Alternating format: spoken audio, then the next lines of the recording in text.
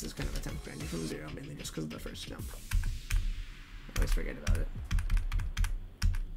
My temps are gonna be inflated. No, No.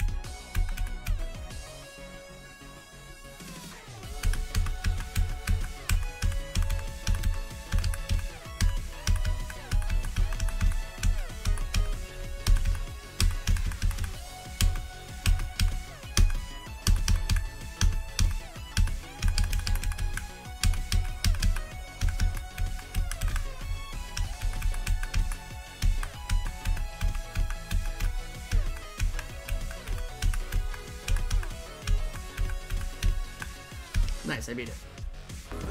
Oh, GG. Cool, cool. It didn't take me too many. Didn't need too many far attempts to beat that. Cool, cool. It took me 195 attempts. Yeah, I think that's a hard demon in my opinion. Oh, you clicked the leaderboard 14 minutes ago. though. That's crazy. Yeah, I just remembered because you were playing it. Yeah. No, I think this is a really, really fun level. I had a ton. I really like this. I really don't think there's any real flaws other than like the first jump grinds attempts, but you can also hold to get over the first jump. But it also takes brain power to remember that.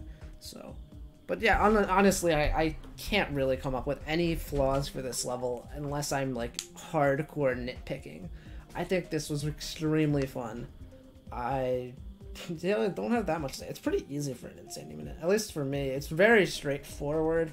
It took very little time to learn, and I didn't really find the ships to be that. I assume the ships are probably the hard part for lesser skilled players or lower refresh rate players. At least that's what I I would guess. But it really wasn't a challenge for me. Uh, I did this for 3,300 demons and 127k stars, as you can see there.